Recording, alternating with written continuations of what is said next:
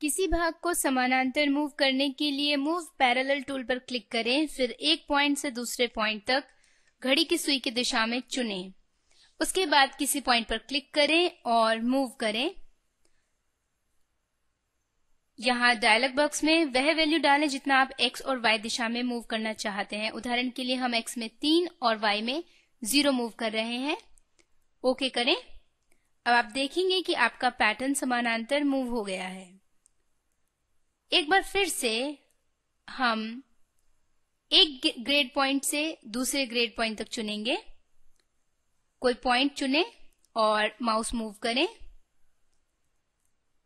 जितना मूव करना चाहते हैं, वह वैल्यू x और y में डालें। यहाँ हम पूरी साइड सीम और आर्म होल मूव कर रहे हैं। आप देखेंगे कि वह भाग